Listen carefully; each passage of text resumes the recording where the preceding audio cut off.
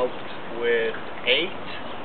Uh, I'm talking about like every summer, so probably painted over 20 or 30 um, community murals as well on top of that. Um, I kind of grew up in the neighborhood. My dad used business here, and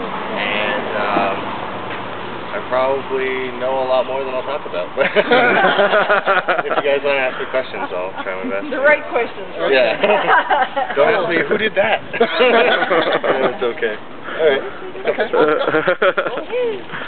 We're in uh, Kensington Market down here in Toronto, and uh, we got a group of people trying to find some strategies here to uh, combat vandalism graffiti and uh, look at getting some positive artwork done in the community. So it's uh, Thursday, May 10th, and uh, here we go.